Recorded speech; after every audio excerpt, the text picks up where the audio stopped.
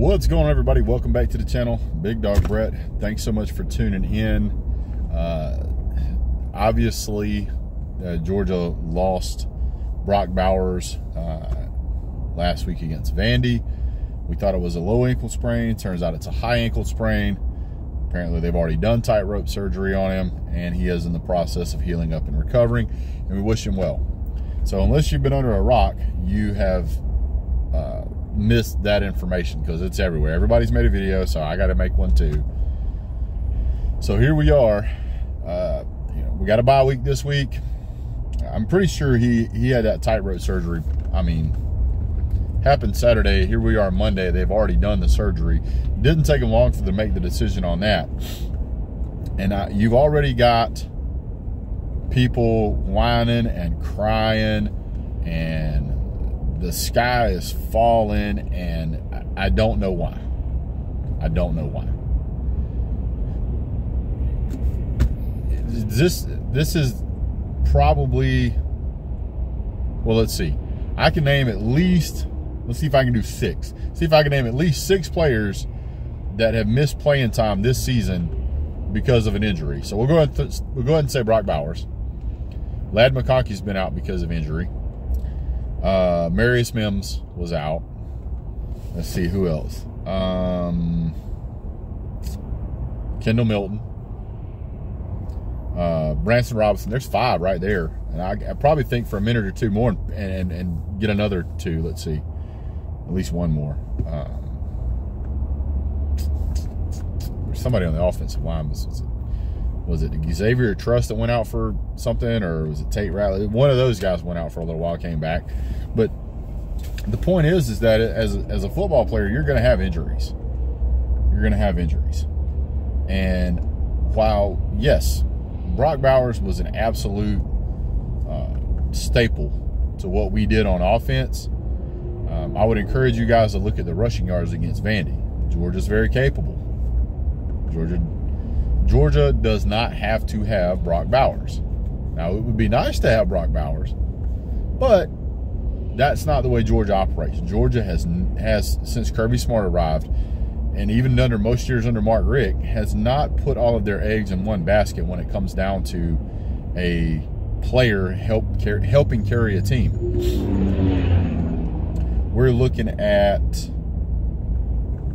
Georgia brings in transfer wide receivers and Rara Thomas and Dominic Lovett, and those guys do fine. We've got Rosemy-Jacksaint. We've got Arian Smith.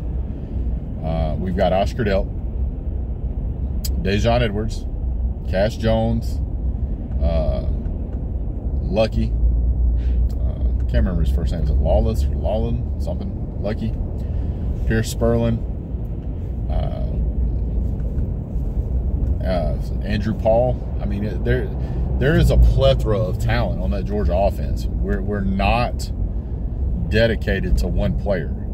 I mean, you can't say that Georgia would lose any any game because we lost one player. Look at last year. We lost George Pickens and we won a national title. Look at the year before. We lost JT Daniels. We won a national title. Um, we've had multiple times during multiple seasons where multiple four and five star players go down, and Georgia continues right along. Now, it never it's never good to lose players, but it's also gonna happen. Every player, every team in the country that plays college football, regardless of whether it's uh, what do you call it, uh, FAU or Georgia or Ohio State or Wyoming, it, it doesn't matter. You're going to lose players. You got to plug and play. This is where depth comes into play. This is where planning comes into play. And Georgia is going to find who Georgia is going to find the way to, to continue to win, with or without Brock Bowers. Now, Brock Bowers, tightrope surgery, estimated time four to six weeks. That's a rough estimate. There has been many cases where they have been over this in three weeks. It just depends on how healing and recovery goes. I can assure you that Brock Bowers is going to get top notch, first rate medical health care. This guy is a first round draft pick. I can assure you they are going to get him fixed up quickly. So you got a bye week this week. So Georgia's won six games. Six and zero. Six and zero. So we still got uh, Florida, Ole Miss, Missouri, and Georgia Tech. That's four games right there, plus the SEC championship game most likely, and you got to throw a bye week into there. So amongst all of that, you got a bye week this week, Florida next week. I think Ole Miss after that or Missouri. I can't remember. I have to look at the schedule. So that's three weeks right there. So then you have two games left, whether it's Missouri, or, I think it's Missouri, and then Georgia Tech. He'll likely play in one of those games. He'll likely play in the Georgia Tech game for sure. If we play a SEC championship game, which I don't really see how we won't, we'll we'll knock that up. Um, you know, it's very likely that Georgia will have to beat Missouri to clinch the East, but is what it is.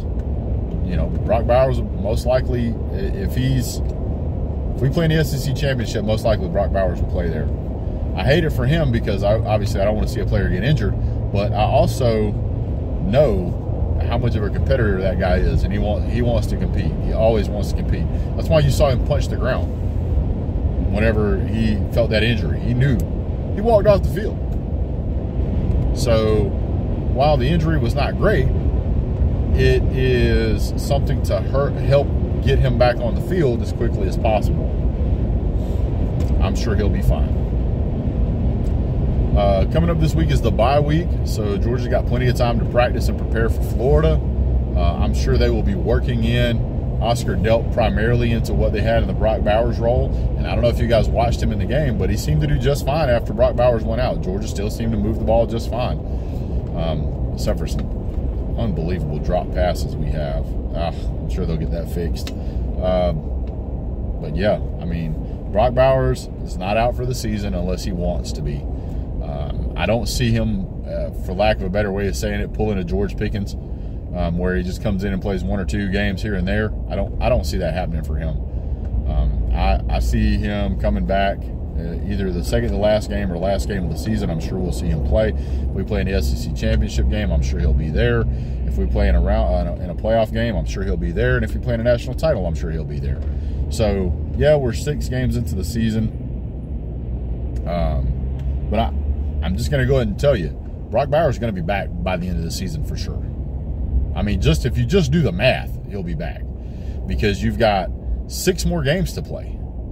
If the surgery can heal him up in as little as three weeks, and then he comes back in the fourth, you'll see him in three more games. That's what you'll see.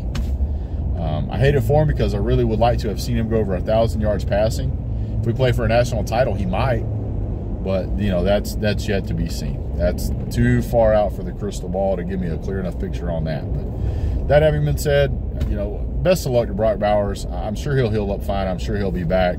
Uh, to you Georgia fans out there who are super worried about losing Brock Bowers, don't be. Um, we love Brock Bowers. We want him to be healthy. I mean, he's he's a great player. He's a great human being.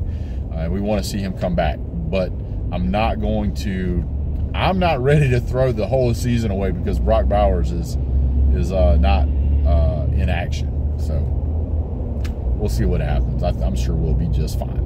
Well, that's it for me, guys. Leave a comment down below your thoughts on what you think about Brock Bowers going down. Uh, we all want him to get better, uh, but we'll see. Uh, we'll see what happens. So we'll see you guys real soon. Have a great day. God bless. Go dogs.